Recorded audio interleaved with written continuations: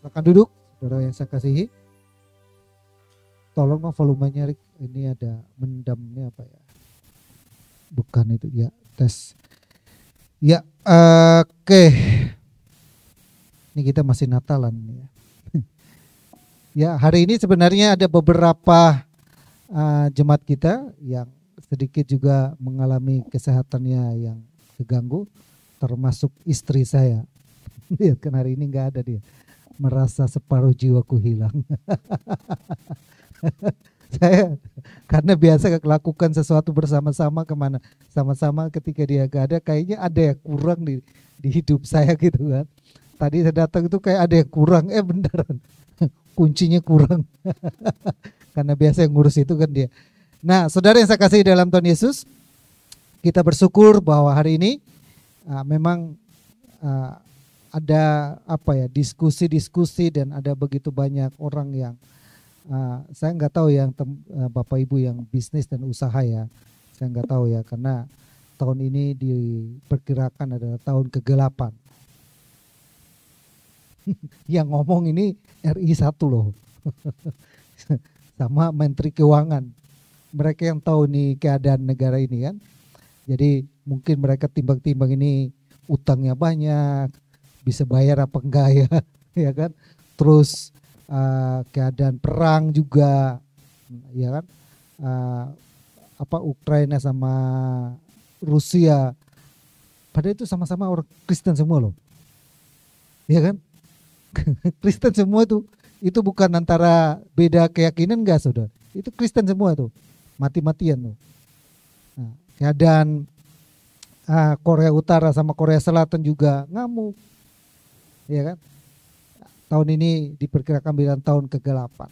Oke, kita uh, itu adalah berita dari dunia kepada kita yang ada dalam dunia. Tapi Natal kemarin kita sudah lewati, kita melihat bahwa kegelapan itu pernah dialami oleh bangsa Israel. Mereka bukan mengalami kegelapan itu seperti yang kadang kita. Waktu mereka mengalami itu 400 tahun mereka tidak taat kepada Tuhan, Tuhan bilang begini, keluar dari Mesir, pergi dan beribadah. Maka diulangan diingatkan, hati-hati kalau kalian sudah masuk ke tanah kanan, kalau kalian sudah menikmati hasil sana, jangan sampai kalian lupa kepada Tuhan. Udah diperingatkan. Eh, benar saudara. Waktu Tuhan menuntut mereka keluar dari Mesir sampai di tanah kanan. Mereka dibagi. Ini suku ini kamu dapat bagian sini sampai sini Suku ini kamu dapat bagian ini sampai sini. Suku ini kamu dapat bagian sampai sini. Oh. Bu Aling Dentin. Ya Bu. Lalu mereka diperingatkan oleh Musa dan Tuhan sampaikan, lalu mereka disuruh mereka hati-hati jangan sampai kalian lupa akan Tuhan. Suku semua 12 suku dibagi. Suku Lewi pun dapat bagian. Suku Lewi tahu siapa saudara? Suku Lewi itu dikhususkan Tuhan. Mereka nggak dapat bagian tanah. Semua dari tanah, maka Bapak Ibu perhatikan ribut antara Israel dengan uh, Palestina itu ribut perbatasan. Ya kan? Sampai kepada Iran, kalau kita perhatikan daerah Timur Tengah itu itu daerah teritorialnya orang ini Israel kan dibagi kamu dari sekian sampai sekian dari batas ini garis kalau kita baca Alkitab dari uh, keluaran imamat sampai kepada bilangan jumlah mereka itu dicatat diatur sedemikian rupa. Lalu mereka lupakan Tuhan. Mereka berhasil dan beruntung. Mereka gemuk lupakan Tuhan. Tuhan buang mereka. Harus Tuhan izinkan yang namanya pembuangan mereka masuk ke Babel. Ah, bangkit satu raja yang keras yang buat mereka.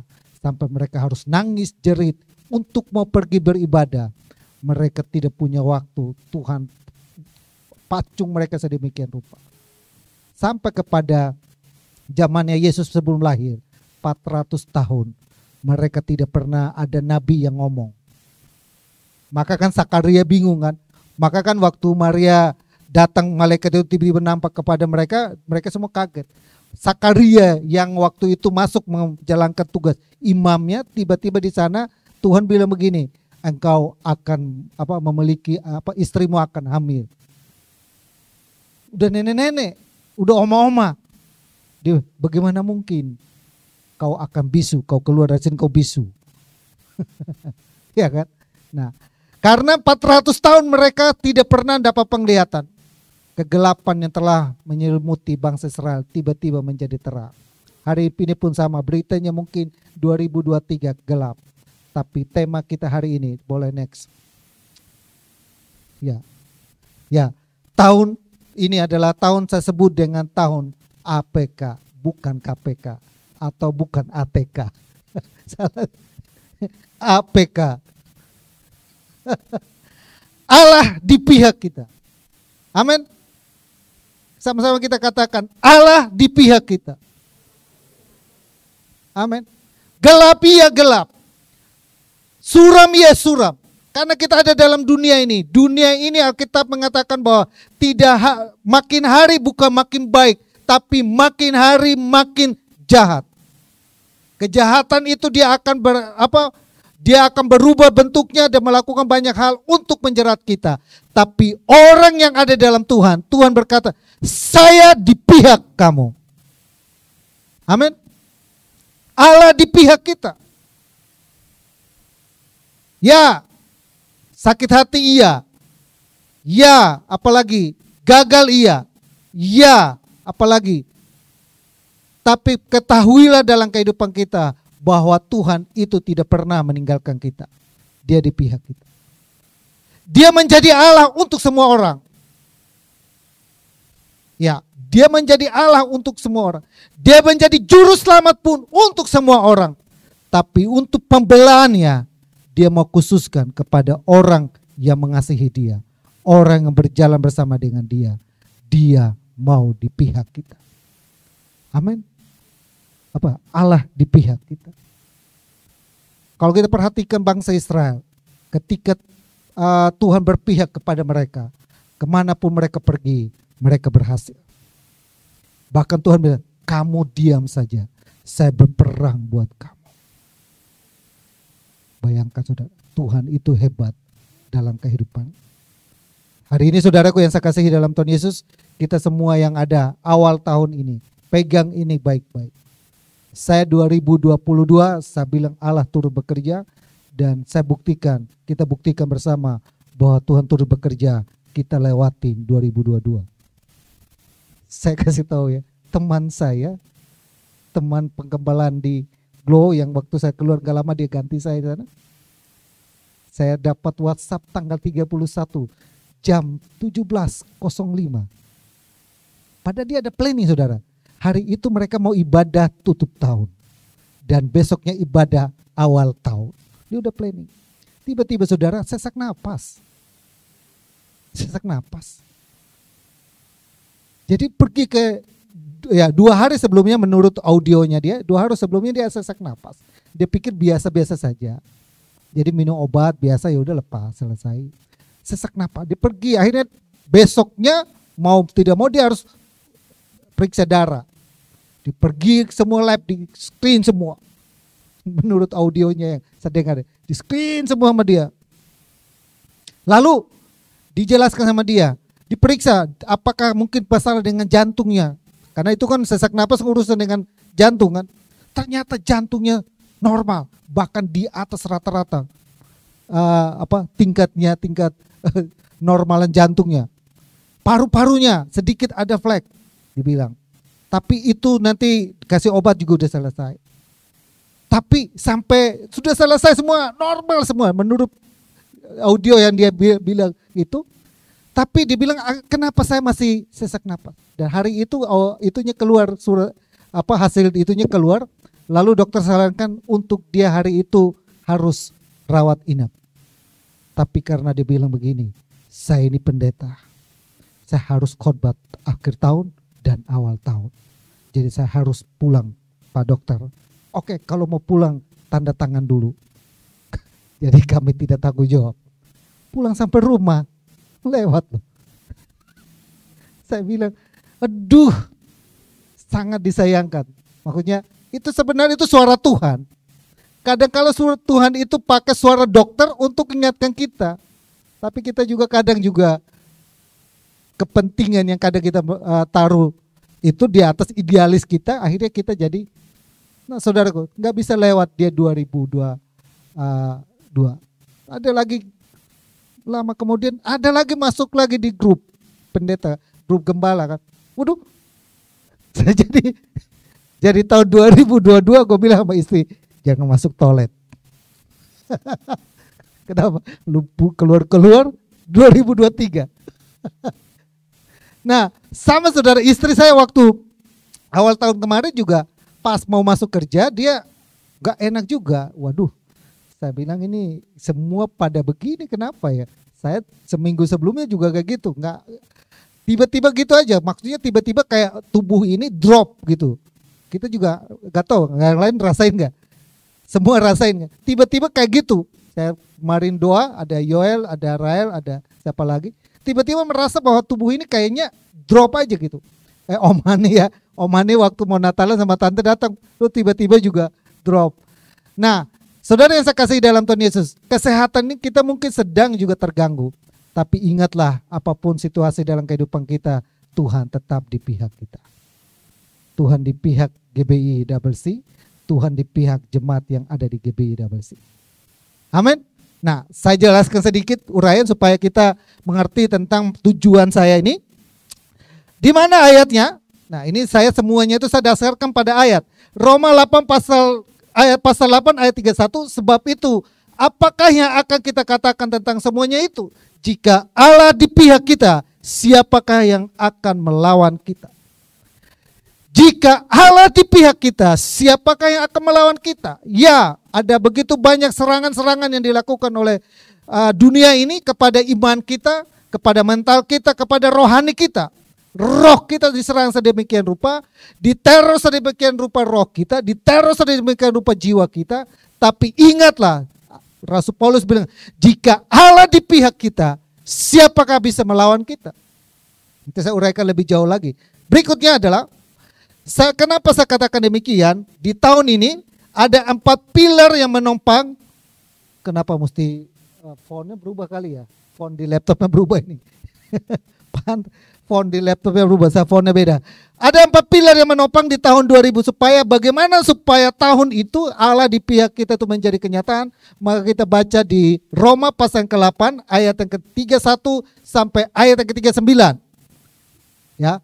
Roma 8 ayat 31 sampai 39 itu menjelaskan empat pilar ini. Saya kenapa empat pilar ini? Supaya pilar yang pertama itu di bulan Januari sampai dengan bulan Maret Ya, empat kan jadi empat bagi dua belas jadi tiga tiga. Nah, lalu nanti dari bulan April sampai dengan bulan uh, Juni itu pilar yang kedua, pilar yang ketiga dan seterus empat seterusnya. Nah, hari ini adalah pilar yang ke pertama. Nah, pilar yang pertama itu dikatakan di Roma pasal 8 ayat 31 yang 32. Sebab itu apakah yang akan kita katakan tentang semuanya itu? Jika Allah di pihak kita, siapakah akan melawan kita? Ia yang tidak menyayangkan anaknya sendiri, tetapi yang menyerahkannya bagi kita semua. Bagaimanakah mungkin ia tidak mengaruniakan segala sesuatu kepada kita bersama-sama dengan dia? Rasul Paulus menjelaskan kepada jemaat Tuhan yang ada di Roma bilang begini, bagaimana dia yang tidak menyayangkan anaknya sendiri, dia serahkan itu buat kita dan dia mengaruniakan segala sesuatu yang baik itu kepada dia. Dia mengaruniakan juga itu bersama dengan mereka yang ada bersama dengan dia. Amin ya. Berindih saudara. Sebagaimana Waktu Yesus ada dalam dunia, Yesus melakukan mujizat, Yesus mengadakan banyak hal. Sebagaimana itu juga, itu yang kita rasakan dalam kehidupan kita. Amin.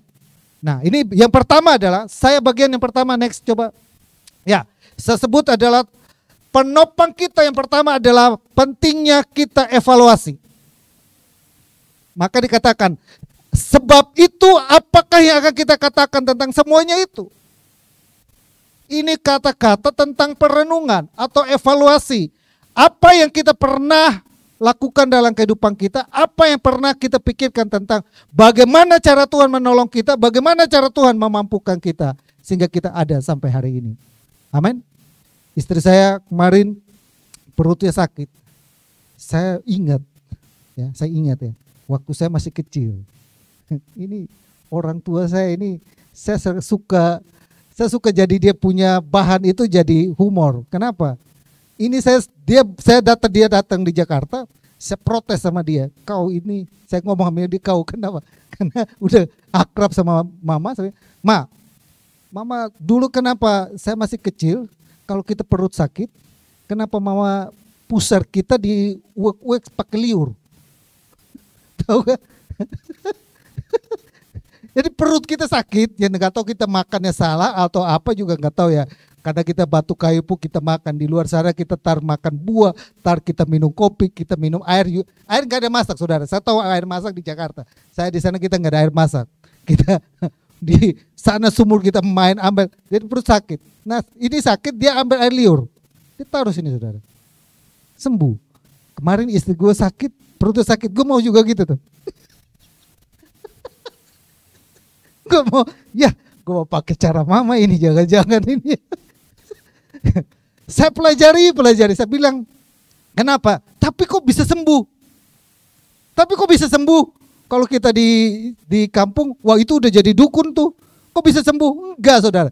Saya pelajari sana bukan air liurnya yang membuat perut saya sembuh saudara. Bukan saudara.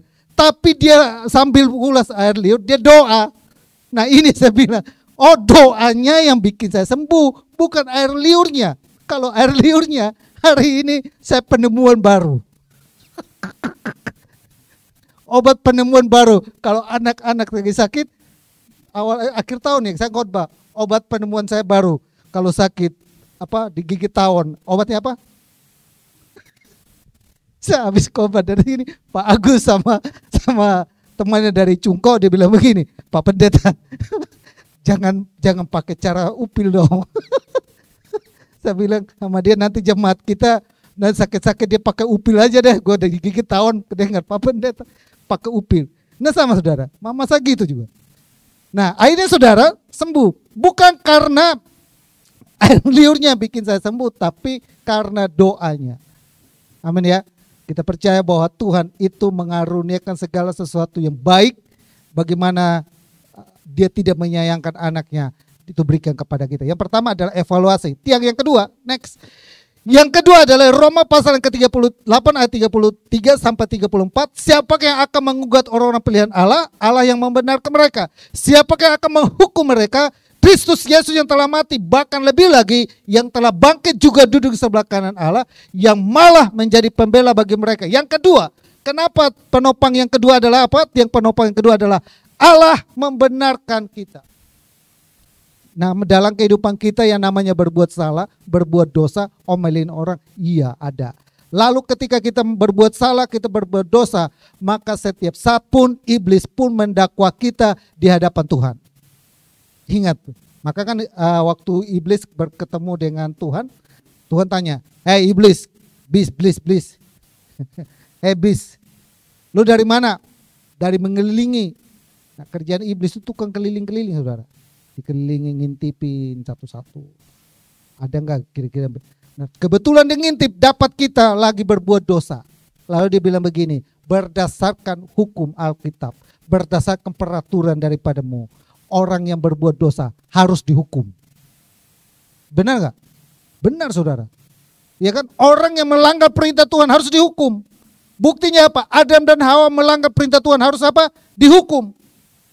Mereka harus diampuni, tapi mereka harus mengalami akibat daripada dosa. Tapi perhatikan ayat ini. Allah yang membenarkan mereka, Kristus bahkan lebih lagi bangkit, duduk di sebelah kanan Allah, malah menjadi pembela kita. Tahu sidangnya Freddy Sambo tahu ya? Iblis itu kayak jaksa. tahu ya? Kita itu kayak Freddy Sambo. Ya kan? Yang didakwa nih. Berdasarkan pasal ini, ini, ini orang mati nih, hukum mati. Hakim itu, Allah itu ada hakim. Jaksa itu menuntut, tuduh terus, tuduh terus, tuduh terus. Lu mau bela diri bagaimanapun, ya tetap dia, gak, dia berdasarkan ini dia salah, dia salah, dia salah, dia salah. Tapi ingat saudara, kita punya seorang yang dia ada di sebelah kanan. Di sebelah hakimnya. Dia bilang begini, iya itu dia salah. Tapi hari ini dia datang minta ampun. Hari ini dia beribadah. Hari ini dia mohon pengampunan. Dosanya sudah diampuni. Hari ini dia dibenarkan. Bayangkan Bapak Ibu, kita yang harusnya seperti saya ilustrasinya seperti Freddy Sambo yang dituntut mati. Tapi ada seorang di sana, dia sebagai pembela, dia membela kita Tidak. Ini harus diselamatkan. Kenapa? Karena dia sudah datang minta ampun. Dia sudah datang minta perlindungan. Saya sudah maafkan dia. Yesus berperkasa. Iblis mendakwa kita setiap saat untuk menjatuhkan kita, untuk menggegalkan kita. Tapi ada Tuhan yang datang setiap saat. Ketika kita berbalik kepada Tuhan, dia mau kata, saya mengangkat engkau, saya menolong engkau, saya di pihak kamu. Maka di situ dikatakan, Allah membenarkan kita. Amin. Dia membenarkan kita. Kenapa? Saudara, dia membenarkan kita. Kerjaan salah satu pekerjaan Tuhan di surga sana sebagai pembela apa? Karena iman kita itu gampang goyah. Ya kan? Ketika kita menghadapi masalah sedikit, kita udah mulai lupakan Tuhan. Maka diingatkan supaya kita kembali lagi ke jalan.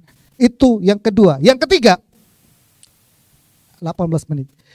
Di 8 ayat 35 sampai 36, siapakah yang akan memisahkan kita dari kasih Kristus, penindasan atau kesesakan atau penganiayaan atau kelaparan atau ketelanjangan atau bahaya atau pedang. Ini perang. Seperti ada tertulis oleh karena engkau kami ada dalam bahaya maut sepanjang hari. Kami telah dianggap sebagai domba-domba sembelihan. Kita itu seperti domba-domba sembelihan yang kayaknya sudah siap di apa sembelih. Tahu uh, peristiwa waktu Abraham mengorbankan Ishak, tahu ya? Bapak Ibu perhatikan ya di situ ya. Sekian detik saja Ishak bisa mati. Sekian detik. Kita hidup itu kayak gitu, saudara. Sekian detik saja bisa kita lewat. Ya kan? Tapi perhatikan, pada saat Abraham mau angkat pisaunya mau tancapkan anak, ada suara yang datang. Stop, Abraham. Perhatikan di sana, ada domba. Sama, dia datang untuk nolong kita. Ketika dalam keadaan seperti Abraham, seperti Ishak yang di mana dalam keadaan sekian detik, tapi Tuhan turun bekerja membela dia. Amin.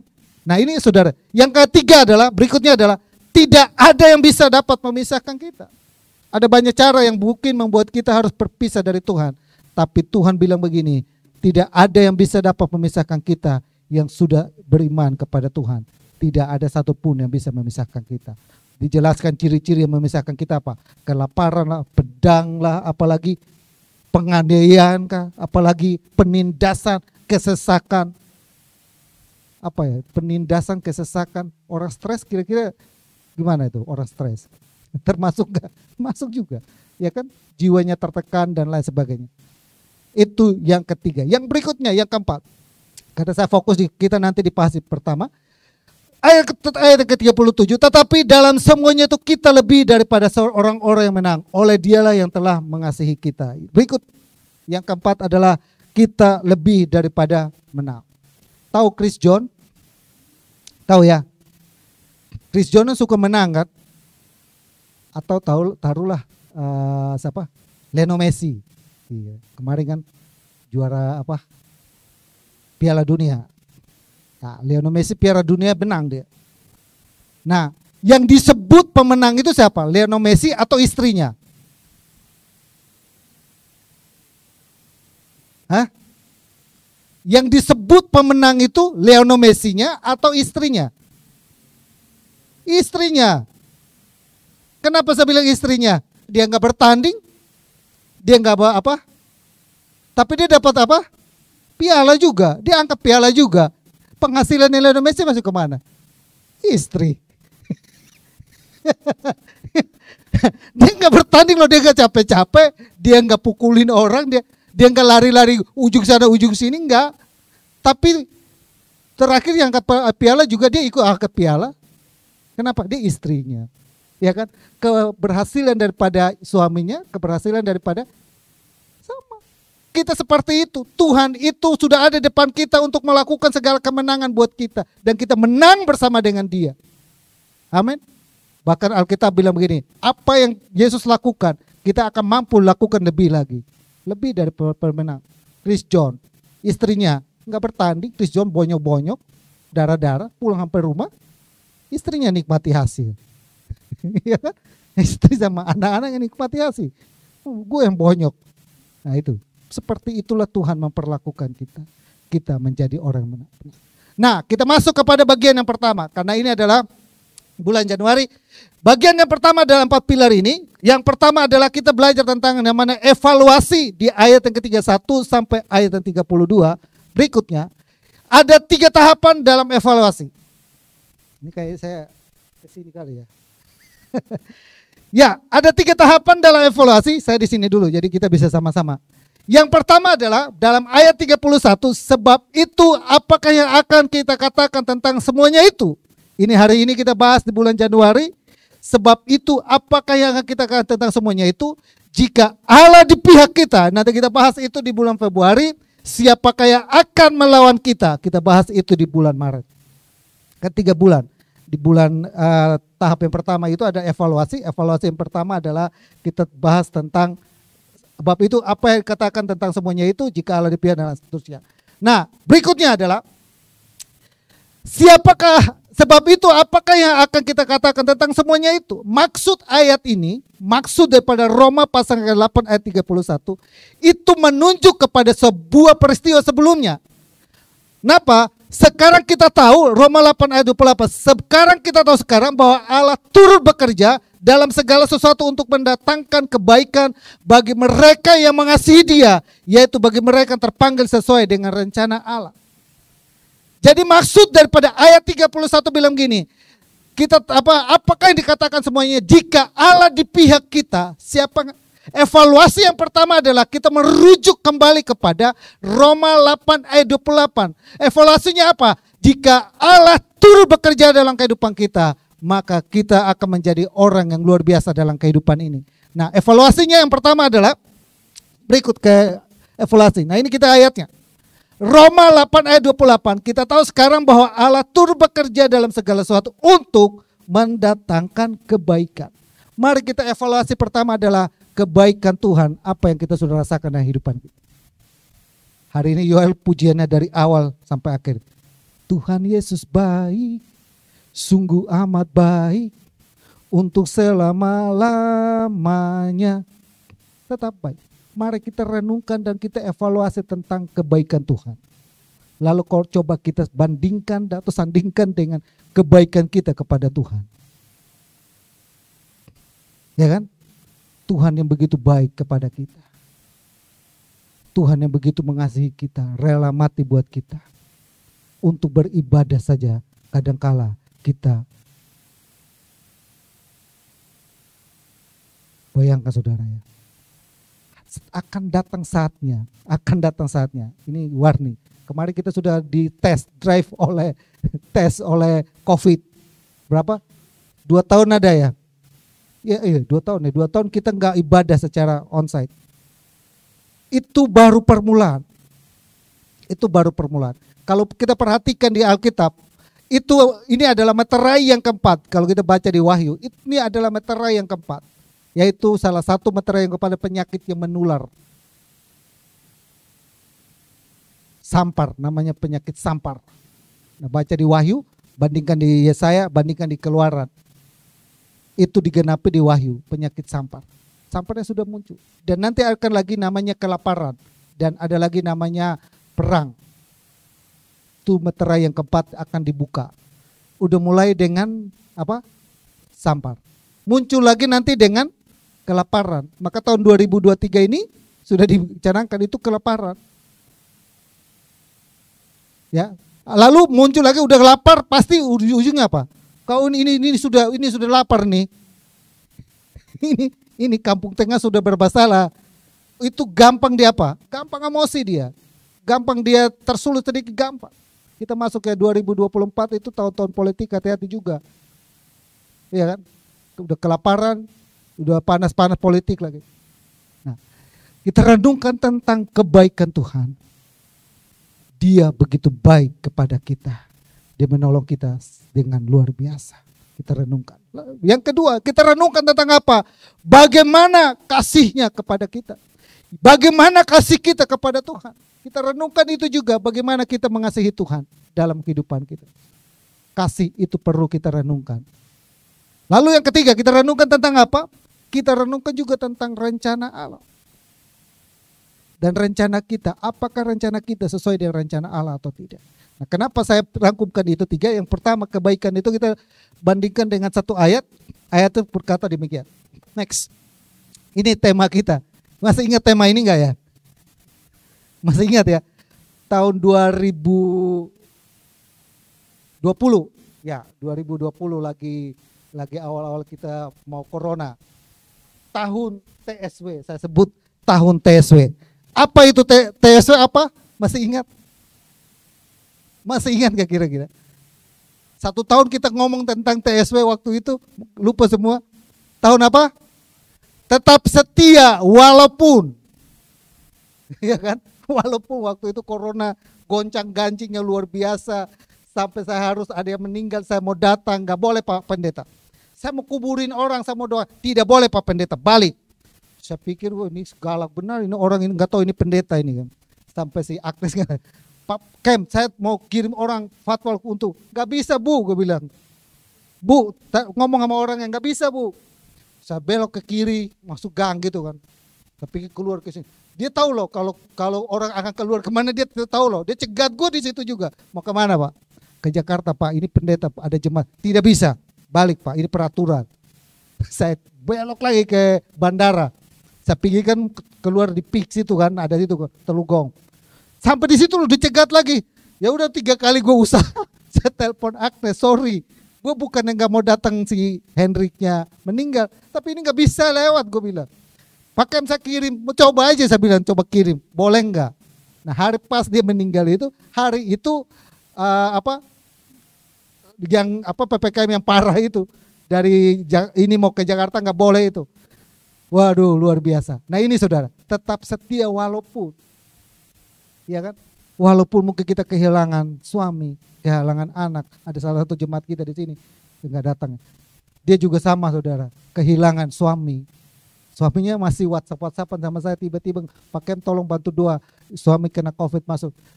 Dua dua hari kemudian Pak tolong bantu doa kita, uh, sudah lewat. Ibu gembala juga saya yang di Jawa Tengah juga lewat. Tetap setia walaupun keluarga kita meninggalkan kita walaupun mungkin kita mengalami berapa tetap setia. Kenapa? Setiap tahun demi tahun Tuhan memakotai tahun itu dengan kebaikan. Amin. Ada saja kebaikan Tuhan yang kita alami dan kita rasakan dalam kehidupan kita. Amin ya. Yang kedua, berikutnya ya Oke, ini oh ya. Yang kedua adalah bagi mereka mengasihi dia. Kalau kita bandingkan di 1 Yohanes pasal 4 ayat 18 sampai 21. Dalam kasih tidak ada ketakutan. Kasih yang sempurna melenyapkan ketakutan. Yang perlu kita harus renungkan dalam kehidupan kita adalah tentang kasih. Kenapa? Dalam kasih tidak ada ketakutan. Amin ya. Tidak ada yang kecemasan, tidak ada kekhawatiran. Kasih itu menutupi segala sesuatu ya dua apa bulan lalu ya Februari Oktober November Desember kita uraikan itu tentang kasih. Dan saya percaya bahwa Bapak Ibu sudah tahu ngerti tentang kasih itu apa? Sabar. Kasih itu apa? Murah hati. Kasih itu apa? Tidak cemburu. Kasih itu apa lagi? Lupa. Oke yang ketiga. 6 menit lagi. Yang ketiga yaitu bagi mereka yang terpanggil sesuai dengan rencana Allah. Rencana Allah atas kehidupan kita adalah di Yeremia pasal 29 ayat 11. Sebab aku ini mengetahui rancangan-rancangan yang ada padaku mengenai kamu. Demikianlah firman Tuhan. Yaitu rancangan damai sejahtera dan bukan rancangan kecelakaan. Untuk memberikan kepadamu hari depan yang penuh dengan harapan. Tuhan tidak pernah merencanakan kita lahir dengan anak yang gagal lahir menjadi anak yang apalagi uh, gagal dalam kehidupan kita. Tapi Tuhan merencanakan kita menjadi orang-orang yang berhasil memiliki masa depan yang penuh dengan harapan. Amin. 2023 tahun kegelapan, tapi buat orang yang ada dalam rencana Tuhan, tahun ini adalah tahun penuh dengan Allah di pihak kita. Amin. Kita memiliki orang yang memiliki pengharapan dalam hidupan. Kita tidak pernah gagal. Orang boleh sebut gagal. Gagal itu adalah keberhasilan yang tertunda. Ini berapa kali dia gagal? Yang nemuin lampu ini berapa kali dia gagal? Hah? 900 Seribu kali gagal. Ada yang sudah sini sudah mengalami seribu kali gagal? Udah pernah belum mengalami seribu kali gagal? Baru gagal satu kali cinta saja sudah mau gantung diri di bawah pohon tomat. ada orang itu ya ada orang gitu kan. Dia mau gagal jatuh cinta dia mau bunuh diri. Dia mau lompat dari uh, jendela. Nah, jangan. Dia mau lompat jangan. Ya biarkan saja. Dia kenapa menyakiti saya? Jangan yang nahan dia jangan kita di lantai satu kita bukan di lantai atas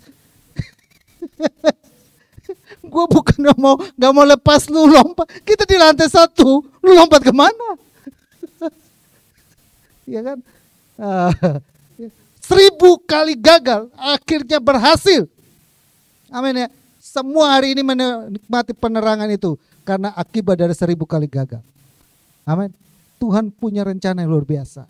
Kelihatannya kita gagal, kelihatannya kayaknya jalan di tempat, kelihatannya kayaknya ah gereja itu gereja apa, ah itu gereja masih kecil jemaat, enggak. Tapi selama kita ada dalam Tuhan, Tuhan itu bilang begini, saya di pihak kamu selama Tuhan di pihak kita, segala sesuatu pasti mungkin. Amin ya. Kalau kita gagal di sekolah, gagal di mana lagi, enggak. Itu keberhasilan tertunda. Tunggu saja. Kalau udah gagal itu udah udah mentok, nah giliran gantian keberhasilan untuk mengerti. Ya kan? Makanya saya di teman-teman di full gospel. Kalau lu udah mentok, lu sudah sudah apa ya? Sudah miskinnya sudah mentok dia bilang gitu. Lu kalau udah miskin tapi udah miskinnya belum mentok, ah belum. Lu belum berhasil. Nanti kalau udah mentok, nah udah udah datang itu. Sudah mulai lu lu berhasil. Bukan berarti harus kita tunggu mentok, lu bukan. Artinya kalau mungkin kita mungkin mengalami sesuatu yang kayaknya apa ya, kayaknya nggak maju-maju, tunggu.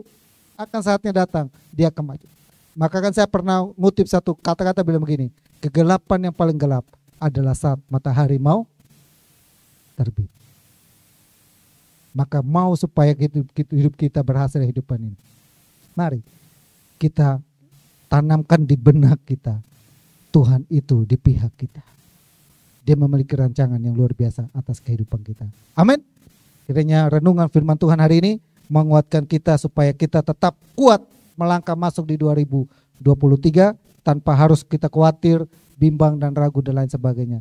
Tetap libatkan Tuhan, tetap andalkan Tuhan. Tuhan di pihak kita.